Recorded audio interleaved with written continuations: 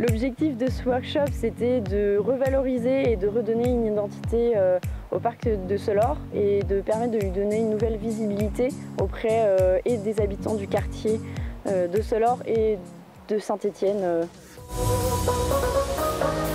Alors nous, on est l'équipe communication du workshop Eco Design 3e édition. On intervient cette année sur le parc de Solor. Notre travail euh, toute cette semaine, c'était euh, de communiquer sur le workshop et sur le vernissage.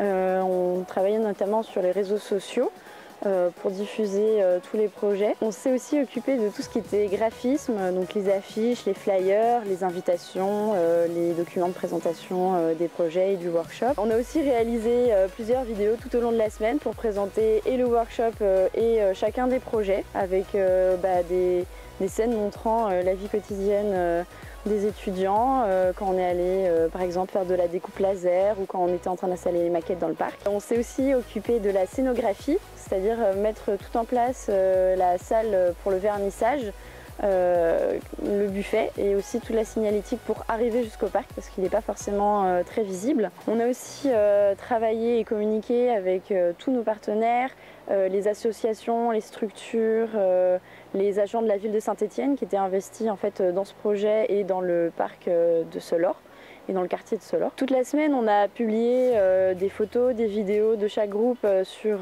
YouTube et on relayait ça sur Facebook, Twitter, Instagram pour que en fait, tout le monde puisse voir le quotidien du workshop et voir comment les étudiants travaillent les réflexions sur euh, les sept thématiques euh, qu'on aborde. Ce workshop, c'est plusieurs semaines de travail entre le master euh, design de communication de Télécom Saint-Étienne et le master éthologie et écologie de la faculté des sciences et techniques.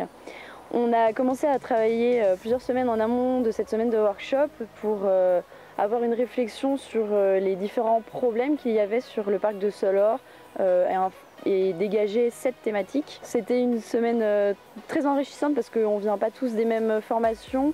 Euh, on a pu euh, travailler en équipe, tous mélanger les deux masters confondus. C'était très bonne ambiance parce qu'on passe bah voilà, cinq jours ensemble, toute la journée. On a euh, un grand espace rien qu'à nous et ça permet en plus de ça de faire connaissance. La suite de ce workshop, ce serait que euh, les projets puissent euh, se concrétiser en fait et que ça apporte vraiment quelque chose au parc de Solor et aux habitants du quartier qui habitent ici.